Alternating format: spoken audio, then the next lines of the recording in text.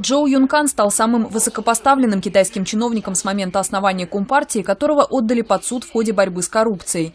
Бывшего главу сил безопасности КНР 11 июня приговорили к пожизненному заключению. Суд города Тяньцзин признал его виновным во взяточничестве, разглашении государственных тайн и злоупотреблении властью. В обвинительном заключении указывается, что Джоу Юнкан принял взятки на общую сумму в 20 миллионов долларов. Он также помогал своим родственникам получать незаконную прибыль, которая исчисляется сотнями миллионов долларов.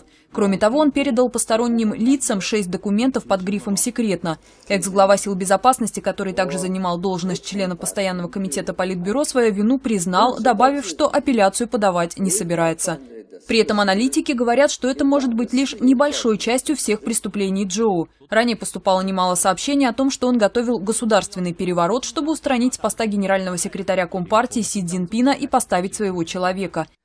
Кроме того, на Джоу Юнкана во многих странах мира поданы судебные иски за его участие в репрессиях последователей мирной духовной практики Фулуньгун. Эта многомиллионная группа людей подвергается преследованию в Китае более 16 лет.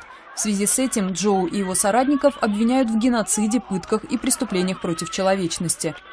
Отметим, что Компартия Китая включает несколько негласных фракций, которые ведут постоянную борьбу за власть. Ответственные за масштабные репрессии Фулуньгун считают фракцию бывшего генерального секретаря Компартии Дзян Зиминя, куда входил и Джоу Юнкан. В последний год несколько высокопоставленных чиновников из этой фракции были сняты с должностей и подверглись преследованию в ходе борьбы с коррупцией.